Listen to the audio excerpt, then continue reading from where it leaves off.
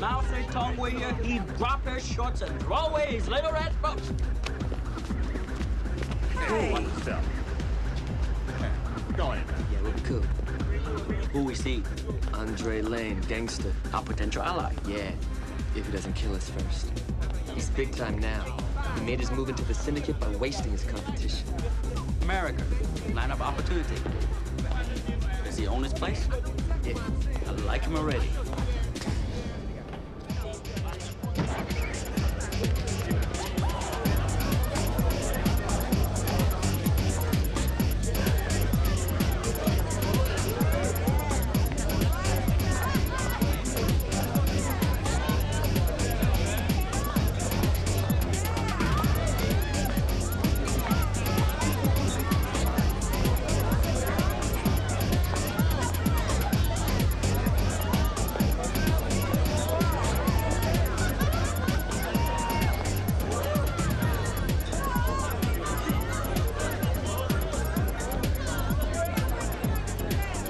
Find this Andre Lane.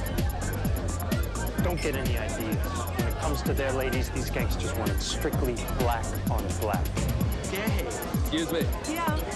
Andre Lane's expecting me?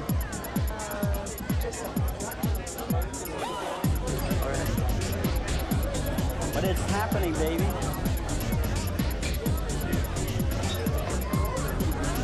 You wanna dance, my stallion?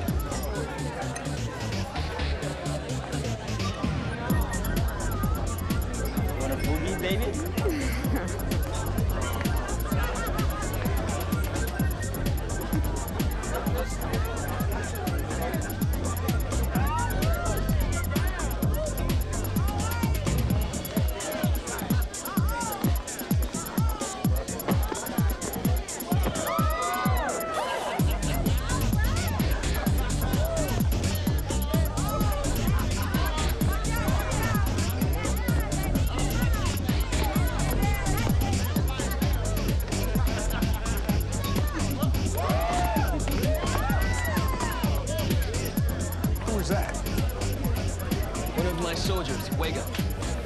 The man can cook. It's business. The business of America is business.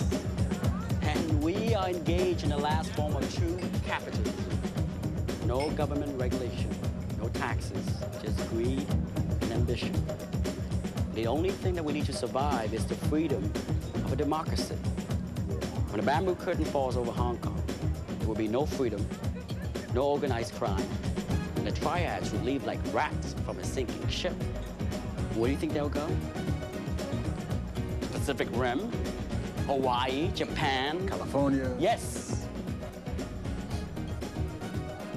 And just because you're not Asian, Mr. Lane, doesn't mean they're gonna leave you alone. Once they get the foothold in the city, they'll make the mafia look like a bunch of French schoolgirls lost in Saigon. They're the most powerful syndicates in the world. They're cancer. And they want it all. A businessman like you, Mr. Chang, uh, you're talking a partnership here. I'm talking about a merger here. Where we buy shares in your company. Yeah. That way we can see if you really are capitalized. We have a deal then? Just as soon as the money falls in an escrow account.